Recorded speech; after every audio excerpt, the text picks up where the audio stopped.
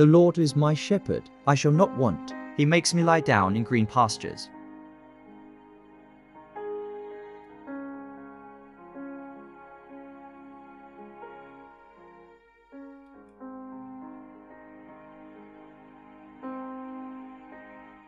He leads me beside still waters. He restores my soul. He leads me in paths of righteousness for his name's sake.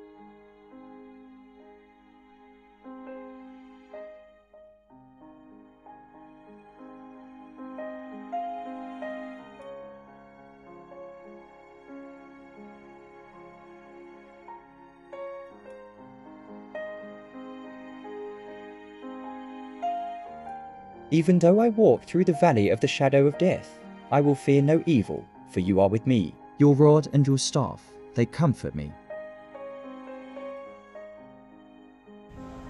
You prepare a table before me in the presence of my enemies. You anoint my head with oil, my cup overflows. Surely goodness and mercy shall follow me all the days of my life, and I shall dwell in the house of the Lord forever.